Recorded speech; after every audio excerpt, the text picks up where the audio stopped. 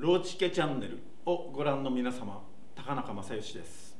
12月14日土曜日に昭和女子大学瞳記念講堂でクリスマススペシャルバージョンをやることになりました。ちょっと気が早いですが2019年を締めくくるゴージャスなライブを考えていますのでぜひぜひお越しください。会場でお待ちしております。高中正義でした。